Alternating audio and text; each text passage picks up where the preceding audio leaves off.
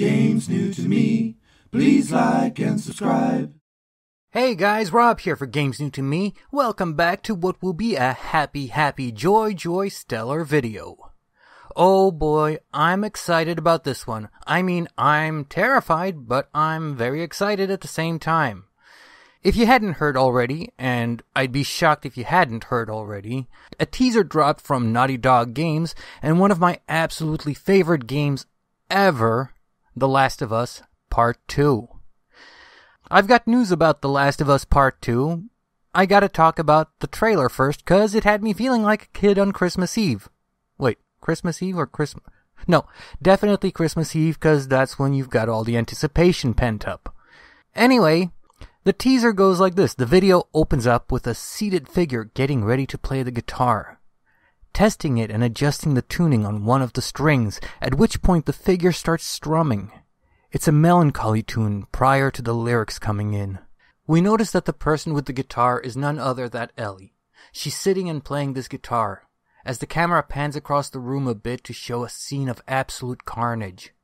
As Ellie plays, a drop of blood runs down her face, and it's clear that a tremendous battle just took place with Ellie coming out on top.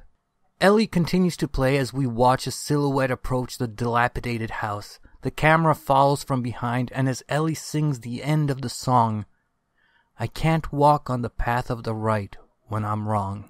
The figure in silhouette, camera observing over the shoulder, speaks, and we instantly recognize Joel's voice. He asks Ellie, what are you doing, kiddo?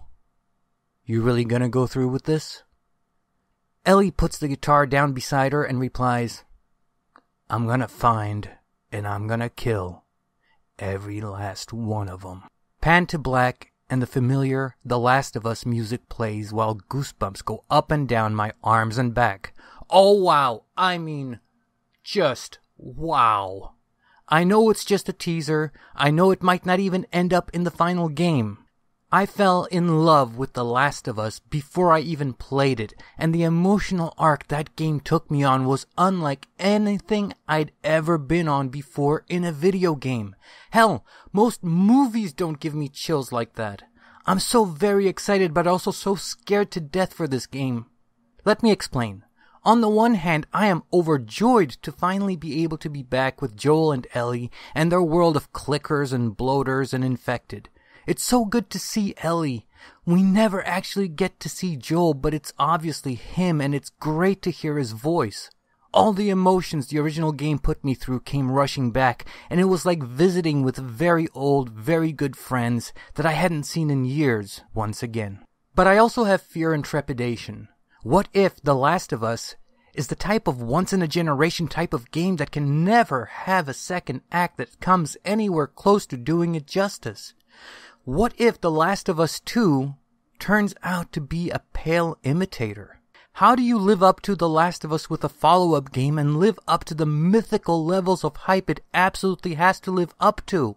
After the original The Last of Us had been out for a while, I came across YouTube videos that were just soul tearingly beautiful, with fans of the game who said it changed their perspective on the world. I remember one video in particular where the gamer in question was so incredibly moved by The Last of Us that he said that he would like to have a daughter, which was a thought he had never entertained before. He was single and without children at the time, as far as I know. Think about that for a second. A game that made a younger man think about his own future and contemplate things he'd never contemplated before, and doing it so beautifully and lovingly. How does The Last of Us Part 2 follow that sort of amazing storytelling without damaging the original material? Maybe it would have been better if Joel and Ellie's story really was finished as Naughty Dog originally said after The Last of Us had been released. I don't have it in front of me, but they said fairly clearly that Joel and Ellie's story was done, and if there would ever be a The Last of Us 2, it would follow the story of a new cast of characters most likely. Maybe Naughty Dog was onto something with that line of thinking. I would have been perfectly fine with The Last of Us Part 2 being about a whole new story and all new characters. I almost feared that, like, trying to outdo or even match the original game is damn near impossible. Should they be continuing the Joel and Ellie story? Please let me know in the comments below. But this is the perfect segue into The Last of Us Part 2 news, and it's some pretty major news at that, and it dropped just a couple of days after the teaser trailer did.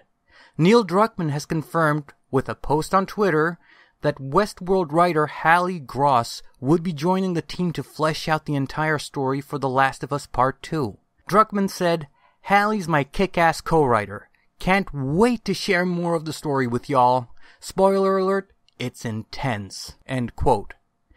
I'm not saying that I don't have faith in Neil Druckmann to deliver with The Last of Us Part 2, and learning that he's bringing on a writer from one of the best current day HBO shows only reinforces that. I don't know an awful lot about Halley Gross.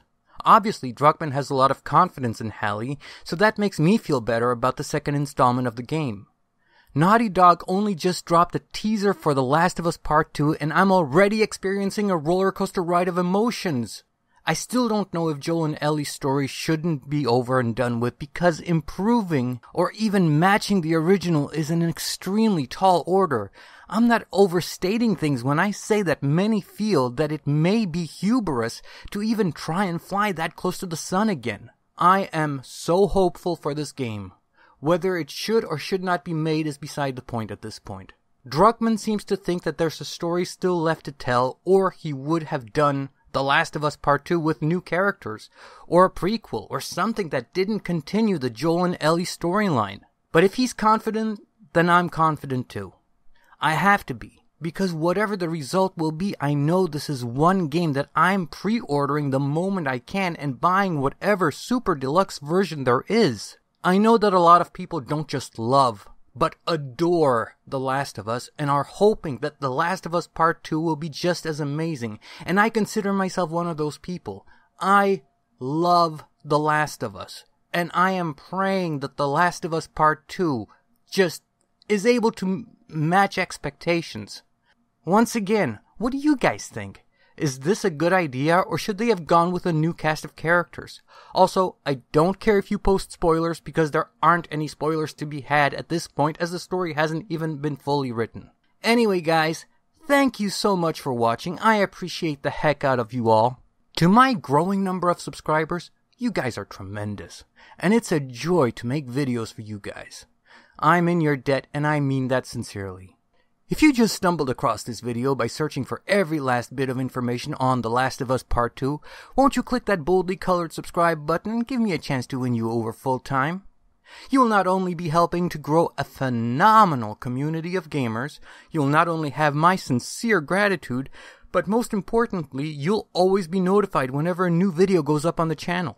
This is Rob for Games New to Me saying, I am so excited and so scared for The Last of Us Part 2. Until next time, guys, be good to each other, and I'll catch you next time. Take care. Bye bye.